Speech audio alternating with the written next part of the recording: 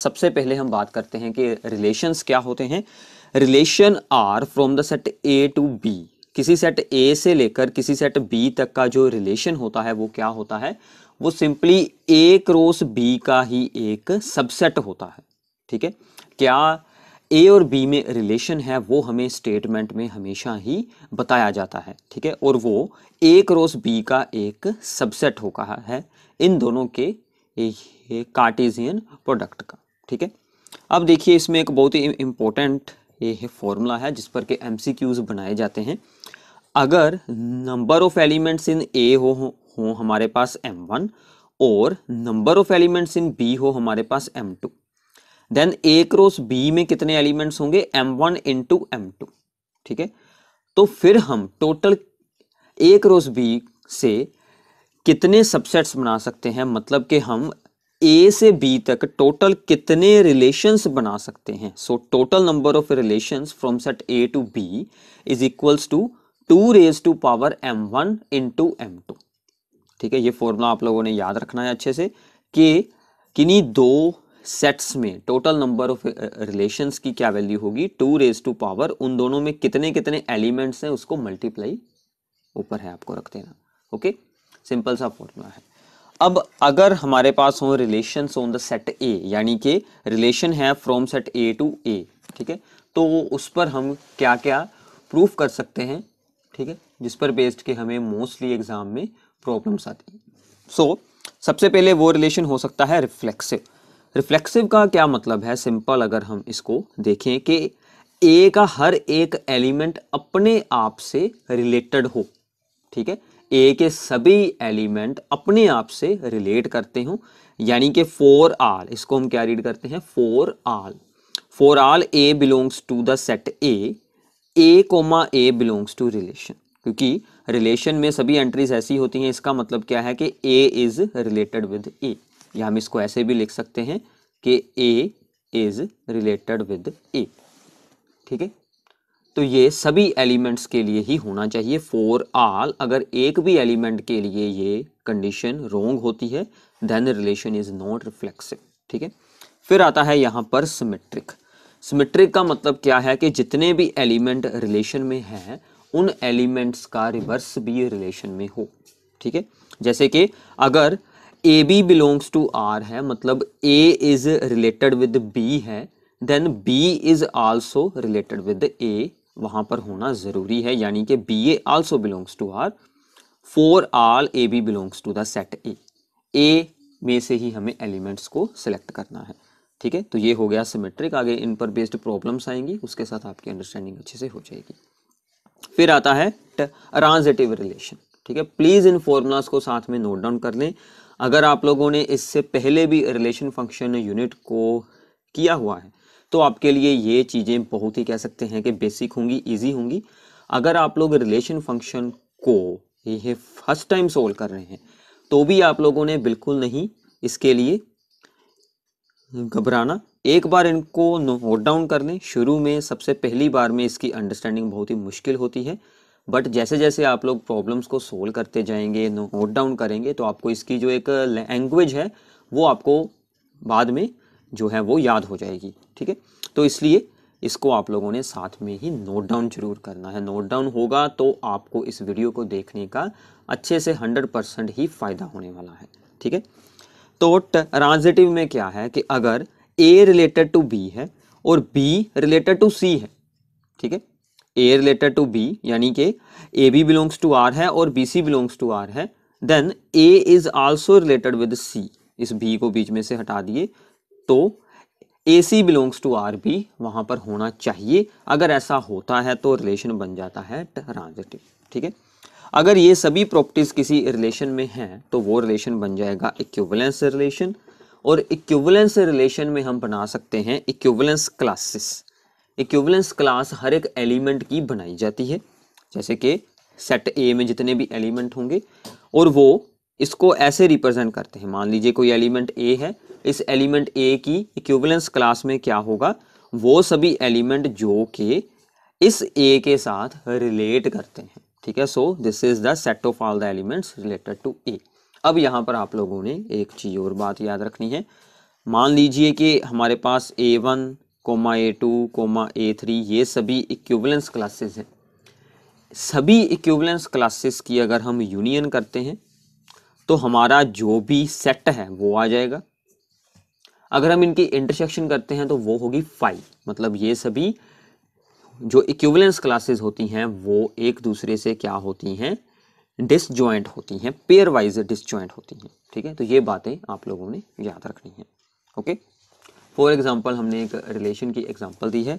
Relation on the set of integers Z R is equals to a b इसमें ऐसे element होंगे मतलब a is related with b such that a minus b का modulus is divisible by two अगर ए minus B का modulus two के साथ divide हो जाता है तो ये ए और बी एक दूसरे के साथ रिलेट करते हैं। ये हमें रिलेशन बताया गया है। इस पर हम ये सभी प्रॉपर्टीज़ को बाद में अप्लाई कर कर देख सकते हैं। वो हम आगे जाकर एग्जाम्पल्स में सोल्व करेंगे। तो इसमें कुछ और जो डायरेक्टली एमसीक्यू की फॉर्म में आपको पेपर में आते हैं, उसके बारे में मैं आपको बताता हूँ। सो नाउ सबसे पहला है कि maximum number of equivalence relations on the set A with these three elements one two three कोई भी सेट हो जिसमें के हमारे पास एलिमेंट्स होंगे ओनली थ्री उस पर आप अब maximum number of equivalence relations कितने बना सकते हैं? फाइव इसका कोई शॉर्टकट फार्मूला बिल्कुल नहीं है। आपको सभी रिलेशंस बनाकर देखने पड़ेंगे। अगर एमसीक्यू आता है तो आप डायरेक्ट आंसर याद रख सकते हैं। अगर आपको सोल्व करने को आता है तो आपको सभी रिलेशंस बनाकर दिखाने होंगे। ठीक है? एंड स्मॉलेस्ट इक्विवेलेंस रिलेशन इनमें से सबसे छोटा इक्विवेलेंस रिलेशन कौन सा बनेगा इस सेट पर? One one two two three three क्योंकि हमने क्या कहा था कि रिफ्लेक्सिव होना ज़रूरी है। रिफ्लेक्सिव का मतलब क्या है कि हर एक एलिमेंट अपने आप से रिलेट करता हो। One one two two three three ठीक है? तो ऐसे ये हो सकता है रिफ्लेक्सिव ओके तो ये थे रिलेशंस के सभी फॉर्मूलाज ठीक है? इसके बाद आएँगे आपके लिए फ़ंक्शंस के सभी फॉर्मूलाज प्लीज़ साथ में नोट डाउन ज़रूर करें। ठीक है? आपको इसका बहुत ही फ़ायदा होने वाला है। यह एग्ज़ाम टाइम में भी और उसके बाद भी आपके ये सभी नोट्स आपके हमेशा ही यूज़ होते रहेंगे। ठीक है? अब हम बात करते हैं फ़ंक्शंस के बारे में। तो एक फ़ंक्शन क्या होता है? रिलेशंस पर ही कुछ थोड़ी सी रिस्ट्रिक्शंस को अप्लाई किया जाता है तो उससे हम बना लेते हैं फ़ंक्शन तो फ़ंक्शन क्या है कि function from set A to B इसको मैं ऐसे रिप्रेजेंट कर सकते हैं f from set A to B is a rule और द सेट ऑफ़ रूल्स जैसे हमें यहाँ पर बताया था कि ए माइनस बी का जो मॉडुलस है, वो टू से डिवाइड हो सकता है या फिर ऐसी कोई भी चीज़ हो सकती है, ठीक है? वो एक रूल्स हो सकते हैं।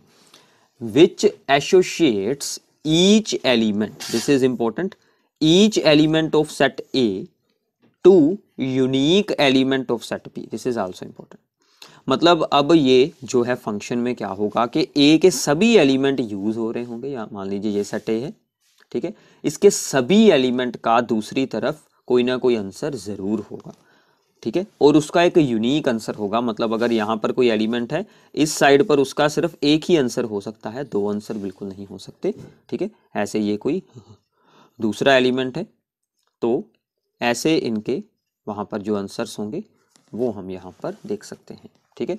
अब देखिए, जो सेट ए है, ठीक है? जिसमें से हमें जो एक्स की वैल्यूज़ को चूज़ करना है दैट इज़ कॉल्ड डोमेन जो आंसर्स आते हैं जहाँ पर, वो होती है कोड मेन अब देखिए कि कोड मेन के अंदर कुछ एक्स्ट्रा एलिमेंट्स भी हो सकते हैं, जो कि इसके आंसर यहाँ पर ये हो, ही ना।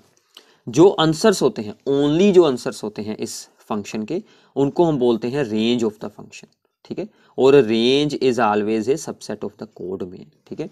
और इस साइड के एलिमेंट्स को हम बोल देते हैं प्री इमेजेस और उस साइड के एलिमेंट्स को हम बोल देते हैं इमेजेस ठीक है? तो ये कुछ बेसिक टर्म्स जो कि आप लोगों ने क्लास इलेवंथ में भी ज़रूर रीड की होंगी, ठीक है? तो अदरवाइज़ आपकी रिवाइज हो गई है। अब जो इस साल के लिए इंपॉर्टेंट है that is the one one function ठीक है? So this is an important ध्यान से इसको सुनना है। A function f from A to B is called one one और injective function if if f x one is equals to f x two implies that x1 is also equals to x2 for all x1 x2 belongs to the set A. इसका मतलब क्या है कि अगर किन्हीं दो elements की same images आती हैं तो वो एलिमेंट भी सेम होने ही चाहिए। मतलब कि distinct elements have distinct images ठीक है? दो जो अलग अलग एलिमेंट्स हैं, उनके आंसर्स भी अलग अलग होने चाहिए तो फ़ंक्शन है वन वन मान लीजिए मैं आपको एक एग्जांपल देता हूँ। एक फ़ंक्शन है हमारे पास f x is equal to x और दूसरा फ़ंक्शन है हमारे पास f x is equals to x का स्क्वायर ठीक है? तो ये दो फ़ंक्शन है। अब जो f x is equals to x का स्क्वायर है, इसमें अगर हम सोल्व करते हैं एफ़ ऑफ़ वन तो उसका आंसर भी वन है। अगर हम सोल्व करते हैं एफ़ ऑफ़ माइनस वन तो उसका आंसर भी वन है। दोनों का सेम आंसर आ गया बट ये जो एक्स की वैल्यूज़ तो यहाँ पर अलग अलग हैं। So this is not one one this function is not one one but this is one one क्योंकि इस पर सभी के आंसर जो हैं वो डिस्टिंक्ट आएँगे। ठीक है? तो ऐसे होते हैं जो फ़ंक्शन वन वन नहीं होते that are called any one functions ठीक है? तो इसको ऐसे भी प्रूफ किया जा सकता है कि for the distinct elements there are distinct a images ठीक है? अब इसके साथ ही हम आगे रीड करते हैं that is the onto function that is also very very important onto और द सर्जेक्टिव फ़ंक्शन अब इसका मतलब क्या है? कि यहाँ पर ये जो बी एलिमेंट है, वो जितने भी बी के एलिमेंट हैं, सभी एलिमेंट ए के किसी न किसी एलिमेंट की यहाँ पर इमेज होना ज़रूरी है। मतलब यहाँ पर भी रेंज वाले ही सभी एलिमेंट होने चाहिए, कोई भी एक्स्ट्रा एलिमेंट ना हो। ठीक है? ए के तो सभी एलिमेंट यूज़ होने ही हैं, क्योंकि ये एक फ़ंक्शन है। बी के भी सभी यूज़ होते हों then this is called onto function so इसको हम ऐसे इन स्टेटमेंट रिप्रेजेंट करते हैं that is very very important for every y belongs to the set B that is our codomain यहाँ से हमने एक एलिमेंट उठाया है। There exist x belongs to this set A such that y is the image of the x f x is equals to y ये होना ज़रूरी है तो ये बन जाएगा ऑन टू फ़ंक्शन तो प्लीज़ इस स्टेटमेंट को अच्छे से याद कर लें। मैं आगे जितनी भी प्रॉब्लम सोल्व करूँगा, उसमें हम ये रिटर्न में एक्सप्लेन करेंगे तो आप लोगों को अच्छे से जानकारी मिल जाएगी। इसके साथ ही एक बात और आप लोगों को याद रखनी है कि ऑन टू फ़ंक्शन के लिए range of the function is always equals to the codomain ठीक है? एंड ऑल्सो अगर कोई वन वन फ़ंक्शन है from the same set to the same set और वो सेट कौन सा है? That is the finite set उसके एलिमेंट्स की गिनती की जा सकती है। Then one one function onto भी होगा और onto function one one भी अपने आप ही बन जाएगा। अगर सेम सेट से सेम सेट तक है और वो सेट क्या है? फाइनाइट सेट है। ठीक है? ओके और जितने भी इनफाइनाइट सेट हैं, उस पर हमें सोल्व कर कर देखना पड़ेगा। उसके लिए हम श्योरिटी बिल्कुल नहीं दे सकते। ओके तो आगे कुछ और बहुत ही इंपॉर्टेंट है कॉन्सेप्ट्स सो so नाउ ये सभी आपको अच्छे से रट लेने हैं, ये एग्ज़ाम में डायरेक्टली पूछे जाते हैं, ठीक है? Number of the one one functions from set this to this ठीक है? सेम सेट से सेम तक हम कितने टोटल वन वन फ़ंक्शंस बना सकते हैं? दोनों में सेम नंबर ऑफ़ एलिमेंट्स हैं तो जितने उसके एलिमेंट्स हैं वन टू थ्री ठीक है ना? थ्री एलिमेंट्स हैं तो हमें सोल्व कर देना है। थ्री का factorial that is equals to the three into two into one that is equals to the six ठीक है? Number of the onto functions from set with elements n to set with elements 2 ठीक है? तो जितने element यहाँ पर हैं यहाँ पर अब हैं टू एलिमेंट्स तो टू रेज टू पावर जितने एलिमेंट यहाँ पर हैं एन एंड माइनस टू कर देना है जितने यहाँ पर एलिमेंट्स हैं। सो so, मतलब अगर एलिमेंट्स यहाँ पर होते फोर तो हम क्या लिखते four raise to power n minus four ठीक है? तो ऐसे आप इसका एक जर्नलाइजेशन भी बना सकते हैं। Number of the one one and onto functions अगर हमें one one and onto दोनों ही सोल्व करने हों, ठीक है?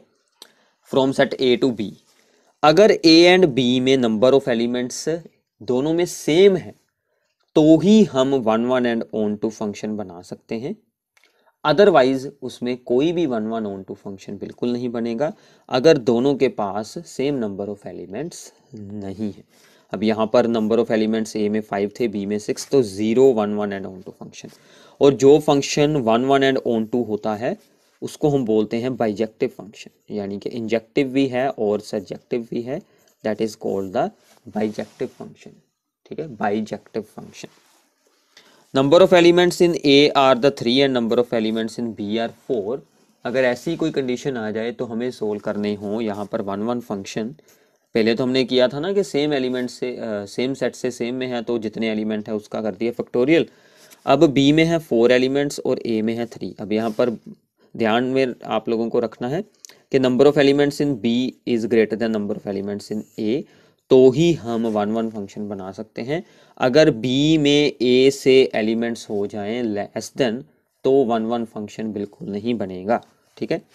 So A to B are इसको ऊपर रखना है फोर पी थ्री ठीक है? बी के एलिमेंट फोर पी थ्री यानी कि फोर पी थ्री ये बन गया आपका फोर फका, यह फैक्टोरियल तो ये बन गया आपका ट्वेंटी फोर ठीक है? तो ये कुछ डायरेक्ट जो एम एग्ज़ाम में आते हैं, उसके बारे में था। तो यहाँ तक अब आप लोगों के रिलेशंस एंड फ़ंक्शंस में से सभी इंपॉर्टेंट फॉर्मूलाज हो गए हैं। अब हम आगे इनकी प्रीवियस ईयर प्रॉब्लम्स को स्टार्ट करते हैं।